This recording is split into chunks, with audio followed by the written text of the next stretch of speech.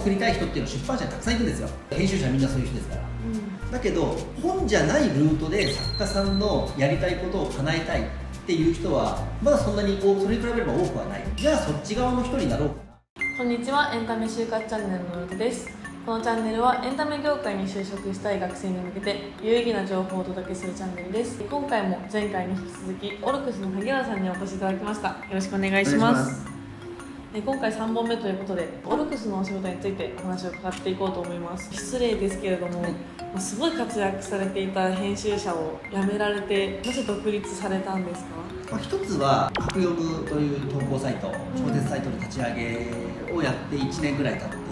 大きい事業をやったなと自分の中での満足感達成感はまず一つあったのと、まあ、幸いにも自分の担当した作品がヒットになってメディアミックスして映像化するという経験を何度かさせていただいて結果としてすごくやっぱメディアミックスの力は強いなと思っていわゆる僕はあのそういう意味でいくと純潔の編集者じゃなかったんだなと思っていて純潔の書籍編集者じゃなかった。つまりさっき言ったように物語が好き。で物語に関わりたいっていうのが根幹としては多分そこは変わらなかったんですよね。だから本の形であるということにそこまで自分の中のメリットよりももっとこの人の才能この人の面白いところを多くの人に届けたい多くの人に見てもらいたい。その形は実は本じゃなくてもいいのかなと思い始めた時期とここが全部重なってでやっぱりでも出版社っていうのは今でこそあのだいぶ形変わりましたけど僕の辞めた当時まだ7年ぐらい前から67年前。それとは言っても本を作る会社というイメージの方が強かったのでじゃあ本にそんなにこだわれない僕はどうしようかなって思った時に、えーと、ちょうどその時に一緒にやっぱりアニメとかを作っていた方々が今後も一緒にやりたいっていうふうにも言っていただけたっていうのもあって本を作りたい人っていうのは出版社にたくさんいるんですよ。本当にたくさんいる。それぞれ編集者みんなそういう人ですから、うん、だけど本じゃないルートで作家さんのやりたいことを叶えたいっていう人はまだそんなにそれに比べれば多くはない。じゃあそっち側の人になろうかなというふうに思って、まあ、会社を辞めたパトカーを辞めて独立したというのが一応流れですね。じゃあそれでまあ現在オルクスでお仕事されてるわけですけれども、ね、例えばじゃあエンゲージキスとかリコリス・リコイル今放送されてますけれども1本できるまでどんな感じで始まるんですか？これはもう、えっと、ケースバイケースなので僕が担当している作品のケースでいくとまずは、えすごく緩いところでプロデューサーとかとこういう話面白そうだよねとか今こういう作品があんまりないよねちょっとどうかなみたいな話を、まあ、雑談レベルでも始めるんですよ。である程度じゃあその中にこういう作家さんにそういうの書いてもらったら面白くないですかとか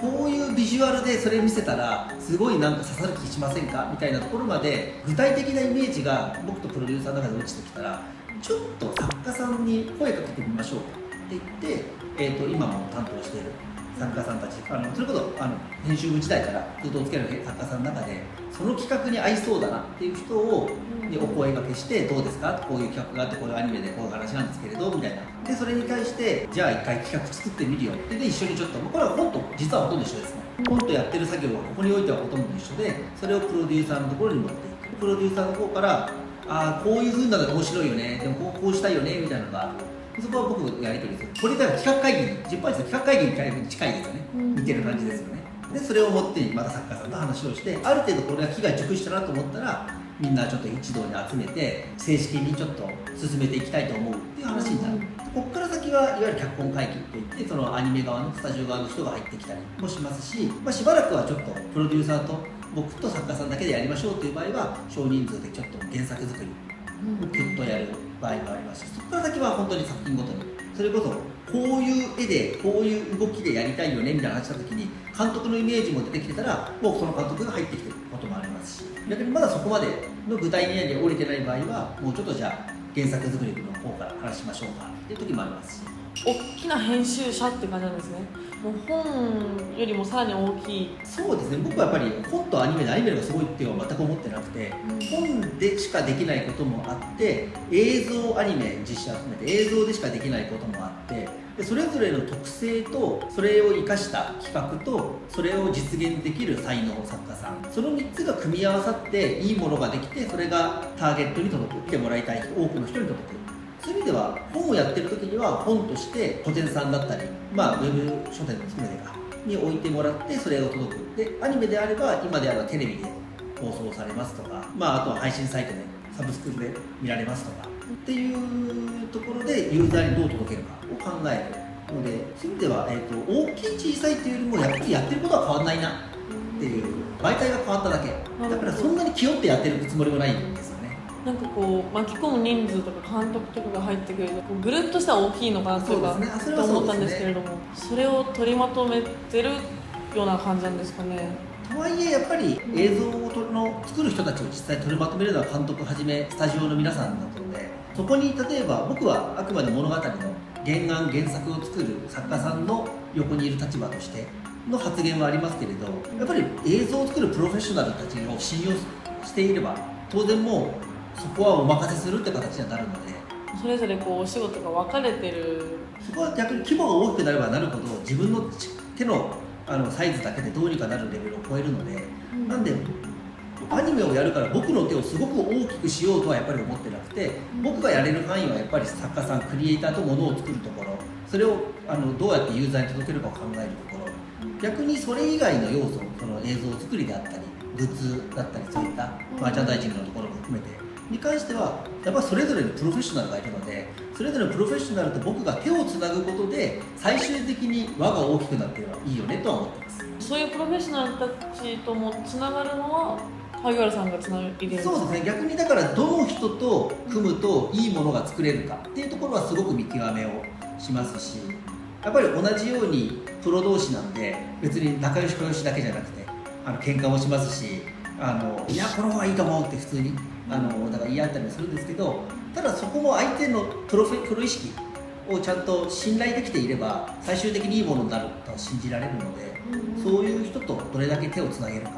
かなと思ってます。ささっきあの視聴者にもお届けするって言ってたんですけど、うん、例えば帯みたいな本の帯みたいなお仕事もされてるんですか？そうですね。この例えば作品のキャッチコピーっていうのはどういうものですかねとかどういう売り文句で出していったらいいかとかどういうところがこの作品において見せ場となる部分なのかっていうようなのはやっぱり僕の方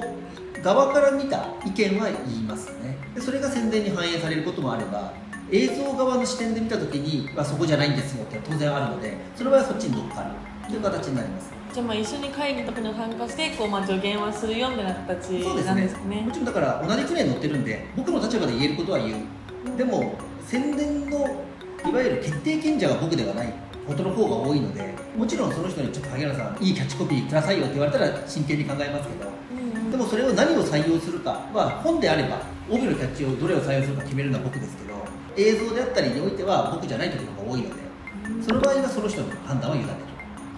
なるほどですね。そうですね。そしたらじゃあ今回3本目はオルクスの現在のお仕事についてお話を伺いました。ホームページが存在しないということで私どんなイメージか全然湧いてなかったんですけれどもそのあまり編集者時代のお話を聞いたとか大きく作用ないのかなとも感じましたしさっきはインプットが大事っておっしゃってましたけどそのいろんなインプットをしたことがすごく生きてるんだろうなっていう感じるお話をたくさん聞けました。多分学生の皆さんはすごくインプットすることが大事かなと改めて認識できた回だったかなと思います、えー、空島では学生編集者インターン募集しておりますのでそちらもご確認ください。次回はラスト4本目ということでヒット作品を生み出すのに必要な力他にはエンタメを作る醍醐味などそういうお話について深掘りしていけたらなと思っております。本日はありがとうございました。ここから萩原さんに現在オルクスが制作しているものについてちょっと宣伝していただいてもよろしいですか？ありがとうございますはい。えーと、ストーリーゲアンと担当しておりますテレビアニメ「コリスリコイル」が毎週土曜日23時半からエンゲージキスが毎週土曜日24時半から放送中でございます。まだ見てないという方は配信もありますのでぜひご覧になってください。よろしくお願いします。皆さんご視聴ありがとうございます。漫画編集者などエンタメ業界志望の皆さん、漫画編集者インターンにチャレンジしませんか？アシスタントなどではなく一つの作品の責任者として企画作り、チーム集め、打ち合わせ、制作進行など漫画編集者に必要な経験を積むことができます。現役インターン生のインタビュー記事もぜひ読んでみてください。インターンの申し込みは概要欄から